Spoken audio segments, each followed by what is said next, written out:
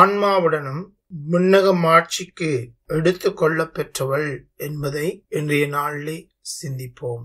அழகோவிய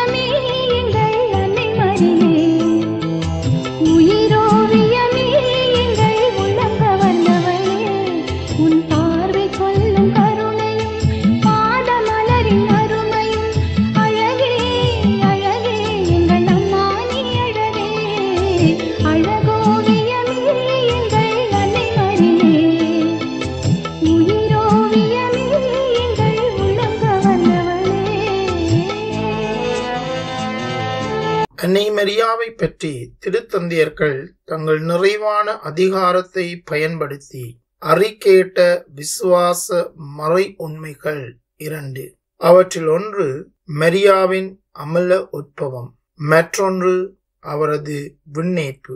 முதலாவது அன்னை மரியா மனித உயிராய் கருவிலே உருவாகிய நொடி பொழுதிலிருந்தே எவ்வகை இடையூறோ இடையீடோ இன்றி எந்நேரமும் அருள் மிக பெற்றவராய் இருந்ததை பற்றியது. இரண்டாவது அன்னை மரியாவின் இறுதி இருப்பு நிலை பற்றியது. அதாவது இப்பொழுது மரியன்னை இருக்கும் மகிமை நிறை பேரின்ப நிலையை பற்றியது. ஒரு மறையுண்மை அன்னை மரியின் மனித இயல்பின் தொடக்கத்தை பற்றியது. மற்றொன்று அவரது மனித இருப்பின் முடிவை பற்றியது. முன்னியது அடிப்படை பின்னியது அதன் கொடுமுடி. மரியா தம் இவ்வுலக வாழ்க்கை பயணம் நிறைவுற்றதும் உடலுடனும் ஆன்மாவுடனும் விண்ணக மாட்சிக்கு எடுத்து கொள்ள பெற்றார். இந்த உண்மை எல்லா கத்தோலிக்க மக்களும் ஏற்றுக்கொள்ள வேண்டிய ஒரு கிறிஸ்தவ கோட்பாடு என ஆயிரத்தி தொள்ளாயிரத்தி ஐம்பதாம் ஆண்டு நவம்பர் மாதம் முதலாம் தியதி திருத்தந்தை பன்னிரண்டாம் பயஸ் அறிக்கையிட்டார். மரியாவின் விண்ணீர்ப்பு பற்றிய இந்த நம்பிக்கை கிறிஸ்துவுக்கு பின் ஐந்தாம் நூற்றாண்டிலிருந்தே கிறிஸ்துவ மரபில் தொடர்ந்து வளர்ந்து வந்துள்ளது. விண்ணேற்பு என்பது எங்கோ வானில் உயரத்தில் உள்ள இன்னொரு உலகிற்கு மரியா சென்று அங்கு மன்னக அரசிகளின் தோரணையில் மணிமுடியும் ஒளிரும் பட்டாடையும் அணிந்து தங்க அரியணையில் அமர்ந்து கோலோச்சும் நிலைக்கு உயர்த்தப்பட்ட நிகழ்வு அன்றி மக்கள் பொதுவாக கற்பனை செய்து கொள்வார்கள். ஆனால் திருவழிபாட்டு நூலில் அதிகாரம் பன்னிரண்டு திருவசனம் ஒன்றிலே வானில் பெரியதோர் அடையாளம் தோன்றியது பெண்ணொருவர் காணப்பட்டார் அவர் கதிரவனை ஆடையாக அணிந்திருந்தார் நிலா அவரது காலடியில் இருந்தது. அவர் பன்னிரு விண்மீன்களை தலைமீது சூடியிருந்தார் என உருவக மொழியே வெளிப்படுத்தப்பட்டிருக்கிறது. அது மன்னக மொழியிலும் மனித பாணியிலும் தெய்வீக அர்த்தங்களையும் அழகுகளையும் சொல்லும் முயற்சியே. எனவே அதை நாம் வார்த்தைக்கு வார்த்தை நேர்பொருள் காணுதல் முறை அன்று. மேலும் முதலிலும் நேரடியாக அப்பகுதி துன்புறுத்தப்பட்ட திரு அவை அடியவிருக்கும் மாட்சிமையே இறைவாக்காக எடுத்துரைக்கிறது. அந்த திரு அவையின் முதன்மை உறுப்பினர் எனும் வகையில்தான் அது மரியாவின் விண்ணேற்பை குறிக்கின்றது. விண்ணேற்பு என்பது இறைவன் மரியாவுக்கு ஆற்றிய அரும் பெரும் செயல்களுள் இறுதியானது. நான் ஆண்டவரின் அடிமை என தம்மையே முழுமையாகவும் இறுதி வரையிலும் இறை திருவுளத்திற்கு அர்ப்பணித்த மரியாவை அவர் நிறைவாக மகிமைப்படுத்திய செயலே அது. அதாவது விண்ணேற்பு என்பது தம் மகன் இயேசுவின் பணிகளிலும் பாடுகளிலும் முழுமையாக பங்கேற்ற மரியா அவரது உயிர் விண்ணேற்றம் என்பவற்றிலும் முழுமையாக பங்கேற்ற நிறை மகிமை நிகழ்வுதான் என்பதை நாங்கள் ஆள நோக்க வேண்டியவர்களாக இருக்கின்றோம். விவிலிய அடிப்படையில் இந்த விண்ணேற்பை நாங்கள் ஆராய்ந்து பார்ப்போமாக்கில் தொடக்க நூல் அதிகாரம் ஐந்து திருவசனம் ஒன்று தொடக்கம் இருபத்தி நான்கில் ஏனோக்கு என்பவரை பற்றி குறிப்பிடப்படுகின்றது. ஏனோக்கு கடவுளோடு நடந்தான். ஏனோக்கு கடவுளோடு நடந்து கொண்டிருந்தான். பின்பு அவனை காணவில்லை. ஏனெனில் கடவுள் அவனை எடுத்து கொண்டார். இங்கு உடன் இருத்தல் உடன் செயலாற்றல் கடவுளுக்கும் ஏனோக்குக்கும் பொதுவாய் இருந்தன. கடவுளின் உடனிருத்தல் கிடைத்தற்கரிய பேறுகளுள் ஆசிகளுள் ஒன்று. ஒரு தனி சலுகையும் கூட. கடவுள் அவனை எடுத்து கொண்டார். இதற்கு எப்ரேய வினைச்சொல் லஹாக் அதாவது ஒன்றை தன்னுடையது ஆக்கிக் கொள்ளுதல் என்பது பொருள். உரிமை உடைமையாதலுக்குரிய செயல் தனக்கென எடுத்துக்கொள்ளல் எனும் பொருள் தருவதாகும். இரண்டாவதாக மொய்சனை குறிப்பிடலாம். இணைச்சட்ட நூல் அதிகாரம் முப்பத்தி நான்கு திருவசனம் ஐந்து தொடக்கம் பன்னிரண்டு வரையான பகுதி. ஆண்டவரின் ஊழியரான மோசே ஆண்டவரின் சொற்படியே இறந்தார். மோசையின் இறப்பு ஆண்டவர் வகுத்தபடி மோவாபு நாட்டில் நிகழ்ந்தது. அவர் அதாவது ஆண்டவர் அவரை அதாவது மோசியை அடக்கம் செய்தார் எனவும் ஆனால் இன்று வரை எந்த மனிதருக்கும் அவரது கல்லறை இருக்குமிடம் தெரியாது. மோசே சாகும்போது அருகில் இருந்தவர் ஆண்டவராகிய கடவுள் மட்டுமே. அவரே தம் அடியாரை அடக்கம் செய்தார். மோசேயின் கல்லறை கடவுளுக்கு மட்டுமே தெரியும்.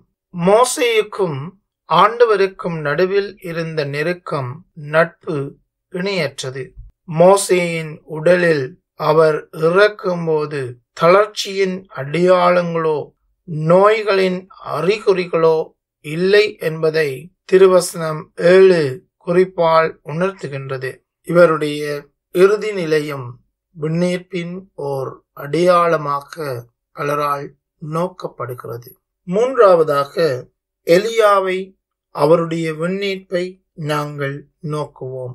இதனை அரசர் நூல் இரண்டாம் புத்தகத்திலே அதிகாரம் இரண்டு திருவசனம் ஒன்பது தொடக்கம் பன்னிரண்டு வரையிலான பகுதியிலே காணலாம். அவர்கள் அதாவது எலியாவும் எலிஷாவும் அக்கறைக்கு சென்றவுடன் எலியா எலிஷாவை நோக்கி உன்னிடமிருந்து எடுத்து கொள்ளப்படும் முன் நான் உனக்கு என்ன செய்ய வேண்டும் என்று சொல் என்று கேட்டார். அதற்கு எலிஷா உமது ஆவி என் மீது இருமடங்காக இருப்பதாக என்று கூறினார். எலியா அவரை நோக்கி நீ கேட்பது கடினமான காரியம். உன்னிடமிருந்து நான் எடுத்து கொள்ளப்படும் போது நீ என்னை காண்பாயாக்கில் அது உனக்கு கிடைக்கும் இல்லையெனில் கிடைக்காது என்றார். இவ்வாறு உரையாடிக்கொண்டு வழிநடந்து செல்லுகையில் இதோ நெருப்பு தேரும் நெருப்பு குதிரைகளும் திடீரென நடுவே வந்து அவர்களை பிரித்தன. எலியா சுழல் காற்றில் விண்ணகத்துக்கு சென்றார். இங்கே விண்ணுக்கு எடுத்து கொள்ளப்படுதல் ஏற்றுக்கொள்ளப்படுதல் என்பது குறிப்பிடப்படுகிறது. இங்கே எலியா எடுத்துக்கொள்ளப்பட்டது முதல் தகவலாகவும் அதற்கு மேல் அவரை காண முடியவில்லை என்பது இரண்டாவது தகவலாகவும் கூறப்படுவதை நாங்கள் பார்க்கின்றோம். மக்கபேயர் முதலாவது நூலிலே அதிகாரம் இரண்டு திருவசனம் ஐம்பத்தி எட்டிலே எலியா திருச்சட்டத்தின் மீது ஆர்வம் கொண்டிருந்ததால் விண்ணகத்திற்கு எடுத்து கொள்ளப் பெற்றார் என்று குறிப்பிடப்படுவதை நாங்கள் பார்க்கின்றோம்.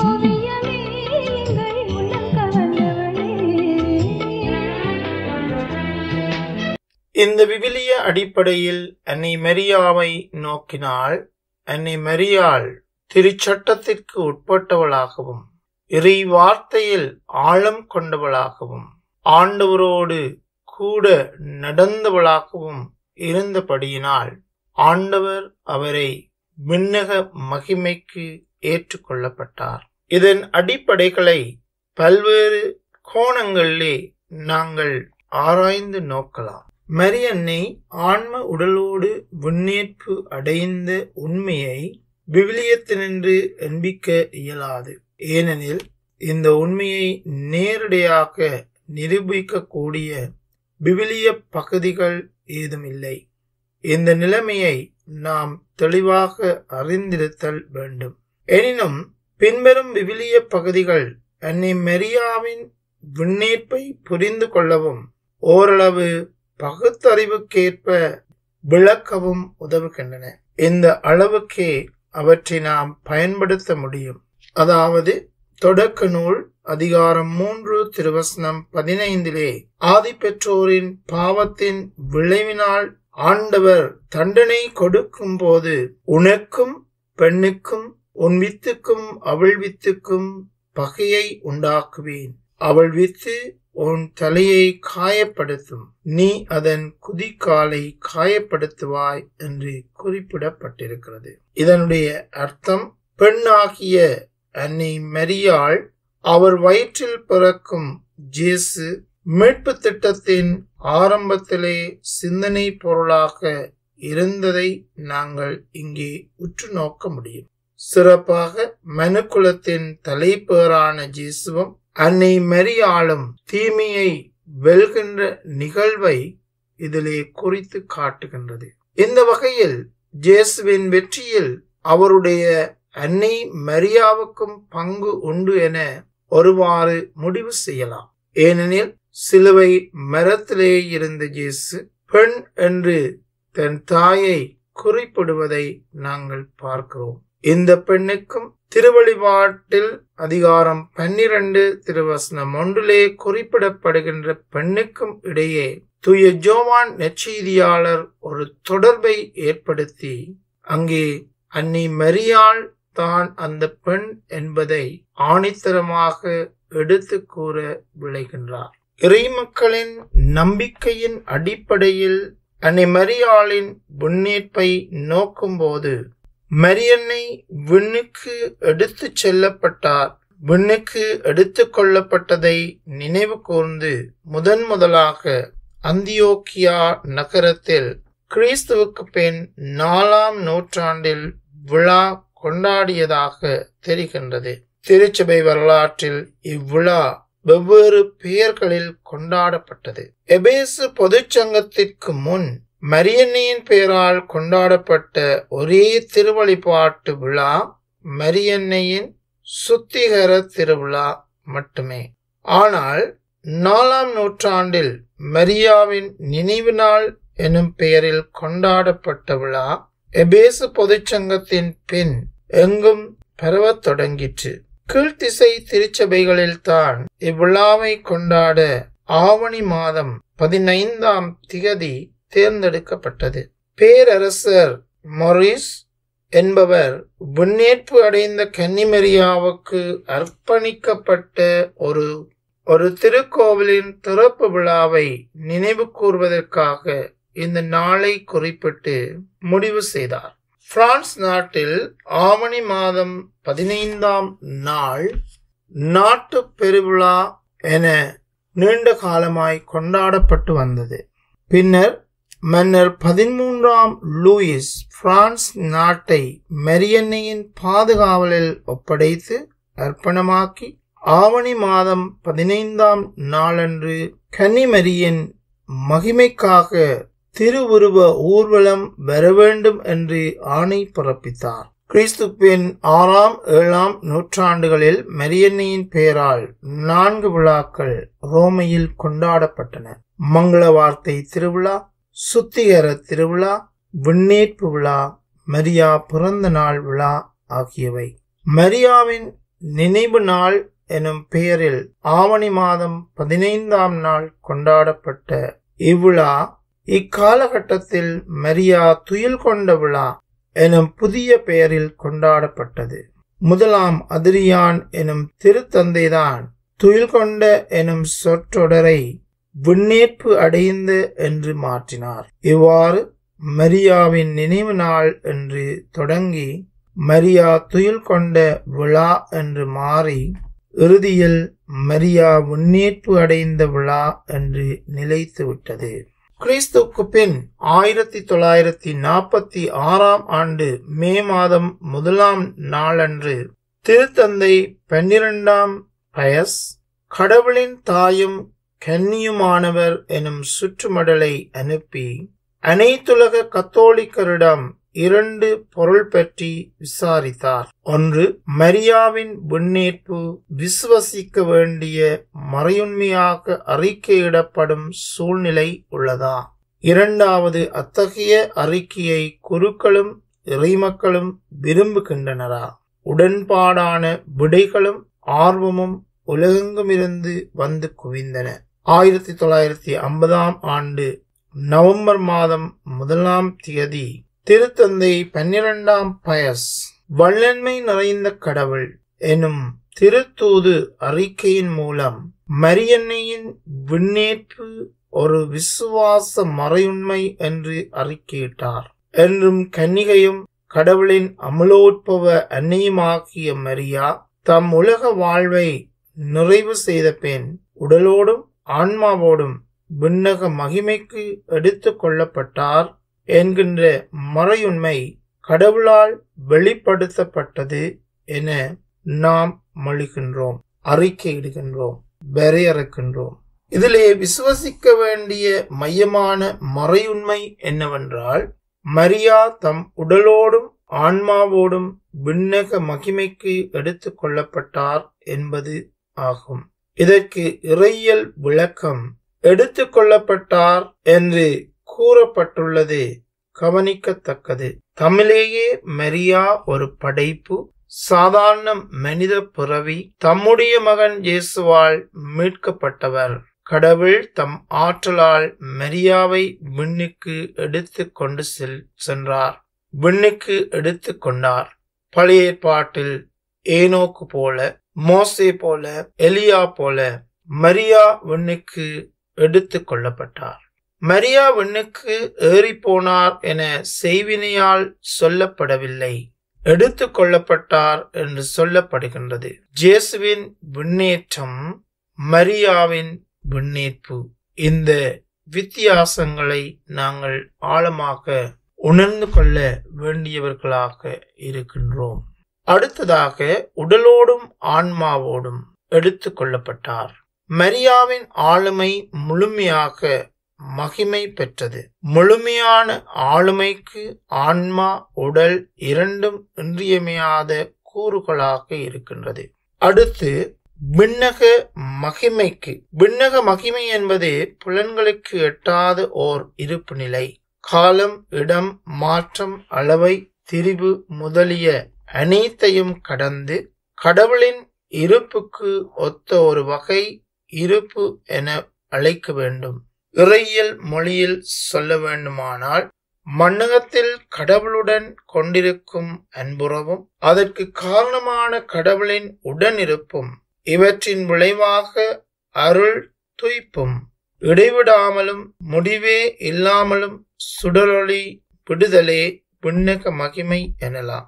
இந்த சுடர் வீச்சில் ஆன்மாவும் உடலும் ஒரு சேர செயல்படுவதாகும். இணைந்து பங்கேற்பதாகும். அன்னை மரியாவை பொறுத்தமட்டில் அவருடைய அமல உட்பவத்தின் அதாவது அருள் மிக பெற்றிருக்கின்ற நிலையில் சுடர் வீச்சே விண்ணேற்பாகிய மகிமையாய் மலர்ந்துள்ளது என்று கூறலாம். தம் உலக வாழ்வை நிறைவு செய்த பெண் என்ற இந்த சொற்றொடரின் அறிக்கையில் மரியன்னை விண்ணக மகிமைக்கு எடுத்து கொள்ளப்படுவதற்கு முந்தின நிலையை பற்றிய சொற்றொடராக குறிப்பிடப்படுகின்றது.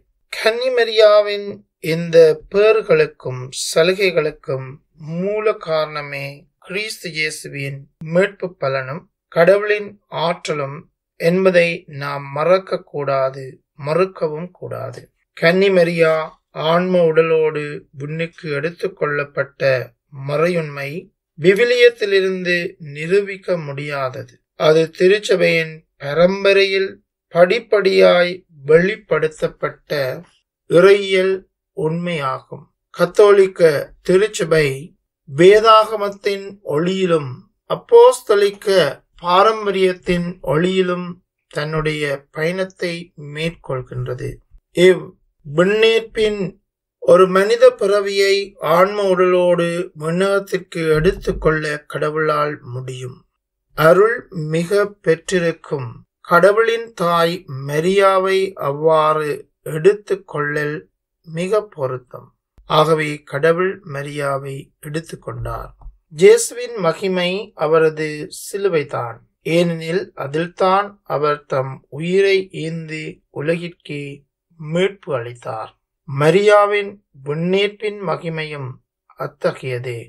என்றும் நம்முடன் இருந்து ஜேசுவின் வழியில் நாமும் வாழ்வடைய அவர் நம்மை தொடர்ந்து தூண்டுகின்றார். அன்பு உண்மை நீதி தியாகம் பரிவிரக்கம் எனும் ஜேசுவின் இறையாட்சி பண்புகளின் மாதிரிகையாக விளங்கி அப்பண்புகளில் நாமும் வளர்ந்திட அருளாற்றல் மிக்க முறையில் மெரியா செயற்படுகின்றார். இதுவே அவரது உண்மையான மகிமையும் மாட்சியும். அப்பண்புகளில் நாம் நாளும் வளர்ந்து அத்தகைய பணியை நாமும் முழு அர்ப்பண உணர்வோடு ஆற்றி மரியா பெற்ற மகிமையில் பங்கு பெற அழைக்கப்படுகின்றோம்.